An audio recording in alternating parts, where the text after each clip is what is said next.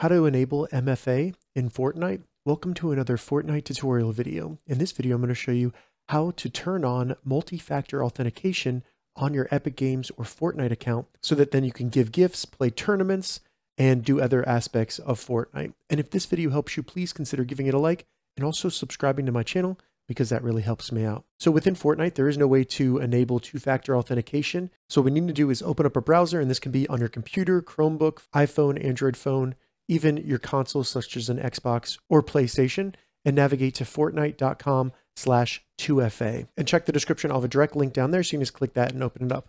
Once you get to fortnite.com slash 2FA, you'll need to sign into your Epic Games account. So this is the account that you use for Fortnite. Now, in order to ensure that we enable 2FA on the correct account, I recommend making sure that you have the correct email address, or you can log in with whatever device that you play with. So if you created your Fortnite account on an Xbox or PlayStation, sign in with those accounts. And if at the end of this video it doesn't work for you, I'll show you some steps that'll help you fix that. So once you get signed in, it'll bring you to the password and security section of your Epic Games account. From here, all we need to do is scroll all the way down to the bottom and you'll see two-factor authentication. And they have three different ways to set up two-factor authentication. You can use an authenticator app, you can use email, or SMS code by entering your phone number. And in this video, I'll just show you how to do email. So go ahead next to email for two-factor authentication, select setup. Then the email associated with your account will receive a code and that will look like this. So simply copy the code, paste it in and select enable email authentication. It'll then bring you back and show you that it's been enabled.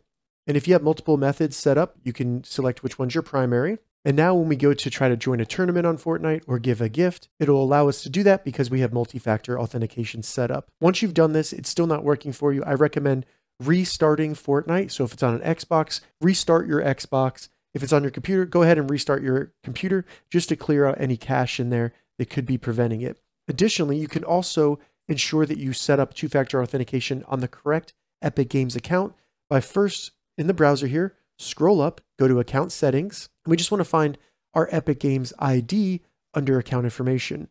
Then when we go to Fortnite, select the avatar in the top right, and then go down and select the settings right here. Once in the settings, go to all the way to the right for account, and you just want to make sure that the Epic account ID right here matches the ID within the Epic Games website. So as you can see there, this account ID matches my Epic Games account ID in Fortnite. So when I set up multi-factor authentication on the Epic Games website, it's going to do it for my game as well. All right, so that's how you turn on MFA on Fortnite. If you have any questions about this, leave a comment below. I'll get back to you as soon as I can. If you'd like to see more Fortnite tips and tutorials, check the links in the description.